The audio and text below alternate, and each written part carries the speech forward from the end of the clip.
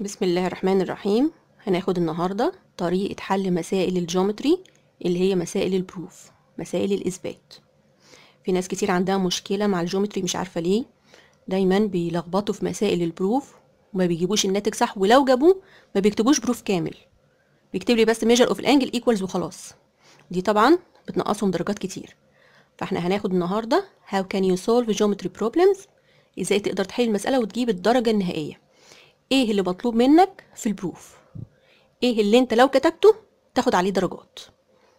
طب المسائل بتاعت ال proof بتيجي حاجة من ثلاثة يا إما يقول لي find يا إما يقول لي find with proof يا إما يقول لي prove that. أي حاجة من الثلاثة دول لازم نكتب proof حتى لو قايل لي find. find يبقى المفروض إن أنت تجيب ال measure وبس. ماشي؟ بس برضو لازم تكتب proof ليه؟ لأنك لو جبت ال measure مثلا بتاع ال angle غلط أو length غلط إيه اللي هيحصل؟ هتاخد زيرو. ما انت جايب لي حاجة واحدة وجايبها غلط. انما لو كتبت لي proof حتى لو انت لخبطت مثلا في حاجة في ال proof فهدي لك درجة على الإثبات اللي انت أثبته. okay؟ غلطت بس في آخر خطوة فنقصك عليها دوب درجة. يبقى انت خدت مثلا 3 من 4 ولا حاجة. خدت 3 أرباع الدرجة. وكمان لازم تكتب لي given و required في ناس لحد دلوقتي ما بتعرفش تكتب ال given وال required ما بتقدرش تفرقهم بين بعض. فين هو ال given وفين هو ال required هنتعلم برضو إزاي نكتب given وإزاي نكتب required to be proof وإزاي نكتب ال proof الصحيح. مش هناخد مسائل كاملة هنا مش هناخد دروس كاملة هناخد بس أفكار من كل درس. مثلا theorem زي ال theorem اللي قدامي دي. بيقول لي إن the sum of measures of the interior angles of a triangle is 180 يعني إيه الكلام ده؟ يعني أي triangle ليه 3 angles. التلاتة لما تجمعهم لازم يطلعوا 180 يبقى مجموع ال 3 angles 180 أستفاد منها بإيه؟ لو جاب لي 2 angles معروفين في ال triangle أقدر أجيب التالتة. هقول 180 minus مجموع الاتنين التانيين. okay؟ طب آدي ال theorem خدناها. نحل عليها المسائل إزاي؟ إزاي هنكتب ال given بتاعها وال required وال proof بتاعها. okay؟ ناخد مسألة. آدي أهو مديني triangle ABC مديني 2 angles. ال A ب 30 وال B ب 90 هات ال C find with proof measure of angle C. هنعمل إيه؟ اولا نجيب ال given إزاي؟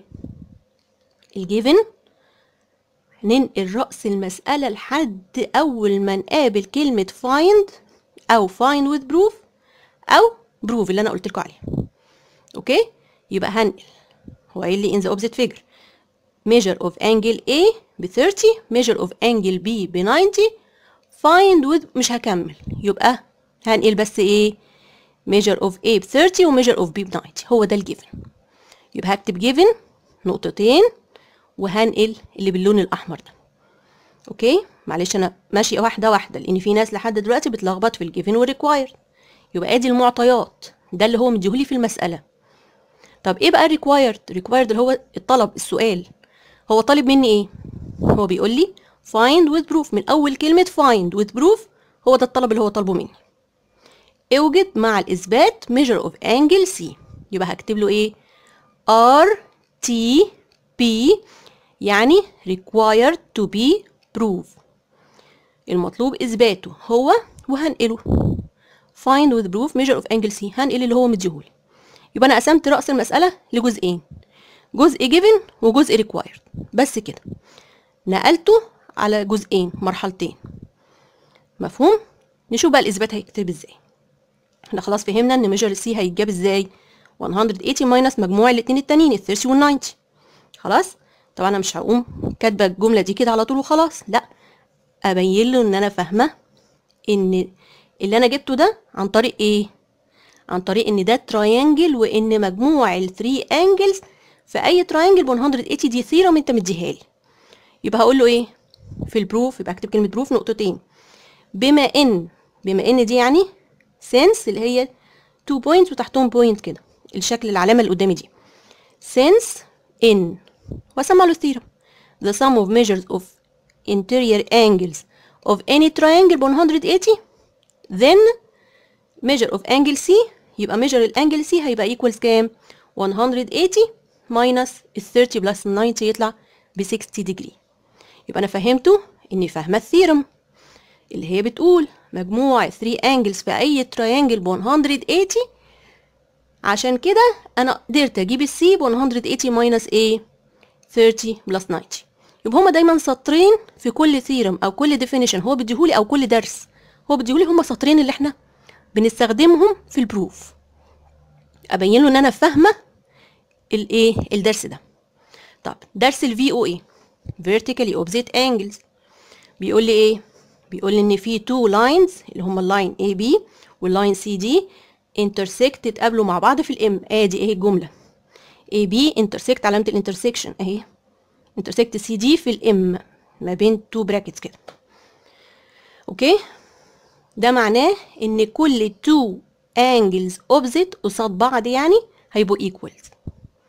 يعني ال angle اللي ناحية اليمين هتبقى اللي قصادها اللي ناحية الشمال هيبقوا الاتنين قد بعض. وال angle اللي فوق قد ال angle اللي تحت. مفهوم؟ ده الدرس بيقول لي كده باختصار يعني. okay؟ يبقى إيه اللي هيحصل؟ إيه هما السطرين اللي أنا هستخدمهم في الدرس ده؟ في ال proof لما هيجيلي الدرس ده في ال proof هكتب فيه إيه؟ هقول له since إن ال AB intersect السي دي في ال M ده ال definition بما إن في عندي two lines اتقابلوا في point okay؟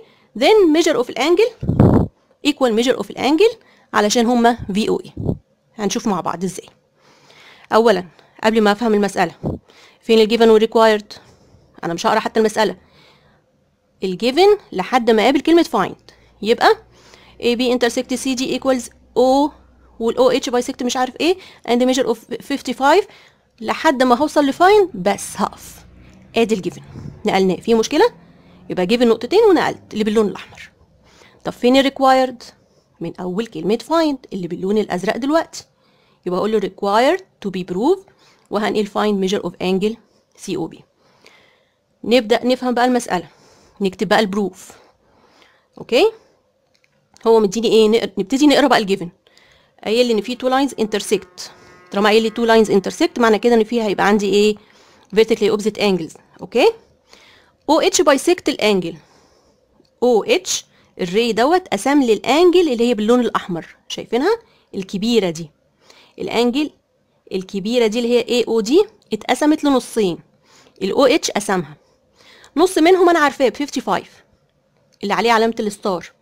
طب يبقى اللي جنبها؟ أكيد ب 55 يبقى ممكن أكتب عليه 55 يبقى مجموع ال two آه ال two angles الصغيرين دول بكام؟ اللي هي ال angle الكبيرة. 55 و 55 يعني 110 دي أول حاجة لفتت نظري في المسألة صح ولا لأ؟ مديني two angles اهم two stars يعني معنى كده إن الاثنين دول قد بعض صح؟ واحدة 55 يبقى اللي جنبها 55 يبقى مجموعهم الاثنين على بعض 110 اللي هي ال angle الكبيرة اللي باللون الأحمر. أقدر أكتب الكلام ده؟ ده أنا حتى لو مش عارفة المسألة بتتكلم على إيه في حاجة عرفتها هنقلها هكتبها هاخد عليها درجة حتى لو هي دي مش مش هو اللي عايزه هنقله. هقول له إيه؟ بما إنك قايل لي إن ال OH bisect أنا عرفت منين إن دي قد دي؟ 55 عشان هو قايل لي إن ال OH bisect ال angle. قسمها لنصين. يبقى بما إنك since OH ال angle AOD then measure of ال angle AOH equal measure of ال angle DOH ب 55 يبقى الاتنين قد بعض 55 okay تبقى ال angle الكبيرة بقى اللي هي عبارة عن مجموع ال two angles دول اللي هي ال angle AOD هتبقى ب 55 plus 55 يعني equals 110 لحد كده okay؟ أنا جبت ال angle اللي باللون الأحمر اللي تحت الكبيرة دي ب 110 طيب هو عايز إيه؟ هو عايز اللي قصادها. اللي قصادها اللي هي COB شفتوا كلمة اللي قصادها دي؟ ال opposite ليها؟ ده الدرس بتاع vertically opposite angles. okay اللي قصادها أكيد زيها. مش هما متقابلين؟ يبقى قد بعض. يبقى أقول إن اللي قصادها زيها ب 110 طب أقول له الكلام ده إزاي؟ اتفقنا إن هما سطرين. بيتكتبوا إزاي؟ ال given اللي هو مديهولي في ال theorem أو في ال definition. إن بما إن في عندي two lines اتقابلوا مع بعض في point بيكتبها لي إزاي؟ هكتبها لي في ال given اهي. B intersect ودي علامة ال intersect ال CD في ال point O يبقى أقول له since إن B intersect CD في ال O then measure of ال angle اللي انت عايزها مني B هيبقى equal measure of ال angle AOD ليه؟ ما بين قوسين بس VOA حتى ما بكتبش الكلمة كاملة يعني بكتب اختصار ليها. ما بقولش vertically opposite angle. VOA مفهومة؟ يبقى أنا من كل درس أنا بس بنقل إيه؟ بنقل ال- الجزء اللي أنا عايزاه السطرين اللي أنا عايزاه سطر اللي هو ال definition أو ال theorem اللي هو بيقوله لي والسطر التاني الإثبات اللي أنا بكتبه. okay؟ ناخد درس درس ال parallelism بناخد قديم على جديد لأن مفيش عندنا في في ال geometry قديم وجديد. ممكن يجي لي حتى في ثالثه إعدادي ممكن يجي لي في ثانوي حاجات من أولى إعدادي. فأنا لازم المنهج أبقى عارفة إن هو تراكمي فلازم أبقى فاهمة كل الدروس قديم وجديد. طيب ال parallelism. بيقول لي إن لو عندي two lines parallel لبعض زي ال AB وال CD هينتج عندي ثلاث أنواع من ال angles النوع الأولاني اسمه corresponding angles يعني إيه؟ الزوايا المتماثلة اللي شبه بعض. يعني إيه شبه بعض؟ يعني زي بعض بالظبط في نفس الاتجاه.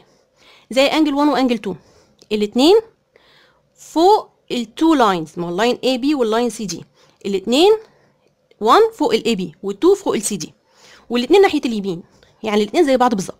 صح؟ هو بيقول لي بما إن عندي parallelism يبقى ال two angles ال corresponding دول هيبقوا equal okay؟ ده الدرس بتاع ال corresponding angles بيتجاوب إزاي في الامتحان؟ أو أكتب إيه في الامتحان؟ السطرين دول. بما إن ال two lines parallel وبسمي ال two lines اللي هم مديهم لي then measure of ال angle وبسمي ال angle equal measure of ال angle التانية. ما بين قوسين بس بفهمه ليه؟ عشان هما corresponding مش alternate يعني. okay عشان هما نوعهم corresponding. ده اللي أنا بكتبه بس في الامتحان. okay تاني نوع من ال angles اللي بيظهر عندي. alternate angles. يعني إيه alternate آه، عكس عكاس كده عكس بعض. واحدة يمين واحدة شمال. ودايما بتبقى في الامتحان كده حرف ال Z.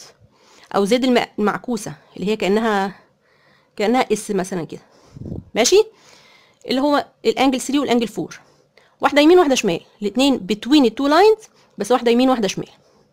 برضو بكتب الكلام ده إزاي في ال proof في مسائل ال proof أدي السطرين بتوعنا. بما إن ال two lines parallel then measure of angle 3 equal measure of angle 4 بفهمه بس ليه؟ علشان نوعهم إيه؟ alternate angles. يبقى ده اللي أنا بكتبه في ال proof هما السطرين اللي أنا بكتبهم في ال proof ما بطولش وبقعدش أكتب كتير عشان ما أغلطش. okay؟ بما إن في عندي parallelism يبقى عندي two angles قد بعض علشان نوعهم alternate. طب تالت نوع interior angles. من اسمهم interior يعني inside between two lines.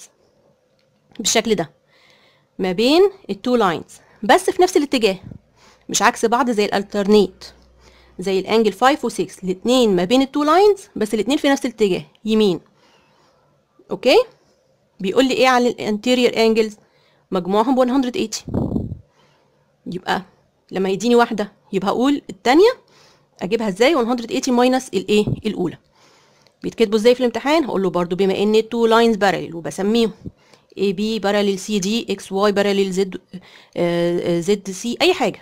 okay then measure of ال angle 5 plus measure of angle 6 equals 180 ليه؟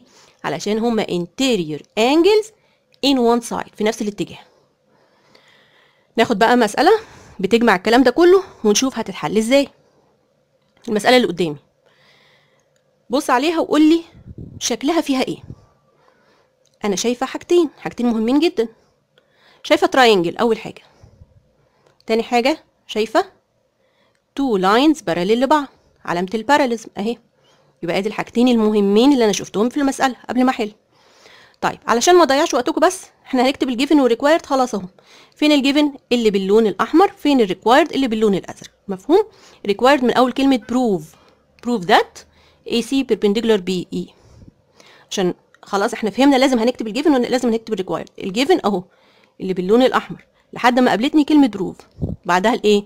ال required نبدأ بقى نحل. اتفقنا إن عندي إيه؟ حاجتين مهمين. أنا شفتهم في المسألة.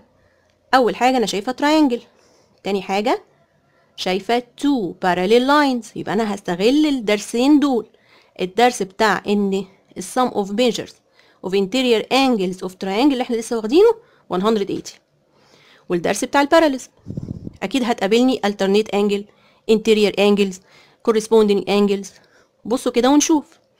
إيه علاقة الأنجل E بالأنجل B اللي عليها ستار مش حرف الزد اللي أنا قلت لكم عليه اللي هو الزد المعكوس دوت؟ يبقوا alternate angles صح؟ طيب نكتب الكلام ده إزاي؟ طالما إنهم alternate هيبقوا طبعا equal يبقى دي 40 ودي 40 أكتب الكلام ده إزاي؟ اتفقنا إن في عندي سطرين بيتكتبوا في كل درس. بفهمه إن أنا فاهمة الدرس ده. مش ده درس ال parallelism؟ يبقى بما إن عندي parallel أو two parallel lines then measure of ال angle هيبقى equal measure of ال angle علشان هما alternate. صعبة؟ بنقل الكلام ده منين؟ من ال given بما إن ال ED parallel to CB منين؟ من ال given ما, بتعبش نفسي وبكتب أنا حاجات تانية مختلفة. ممكن تطلع معايا غلط. ممكن أقول DE بدل ED لأن هو ray فبنقله زي ما هو من ال given بما إن ال ray ED parallel لل CB line segment then measure of angle B اللي عليها star دلوقتي هيبقى equal measure of angle E equals 40 degree. ليه؟ علشان هما alternate. بفهمه إن هما alternate مش عشان هما corresponding مش عشان هما interior مش عشان هو أي حاجة تانية. مفهومة؟ بس ما بين قوسين. بفهمه هما ليه قد بعض. علشان هما alternate angles لحد كده okay جبت ال B ب 40 نبص بقى على ال triangle اللي تحت كده بقى عندي فيه two angles معروفين واحدة ب 40 وواحدة ب 50 تبقى التانية بكام؟ 180 minus مجموع ال 40 وال 50 صح؟ جبت الكلام ده منين؟ عرفت الكلام ده منين؟ ليه؟ ليه اشمعنى 180؟ علشان ده triangle صح؟ طب اتفقنا ان الدرس ال triangle إيه السطرين اللي أنا بكتبهم فيه؟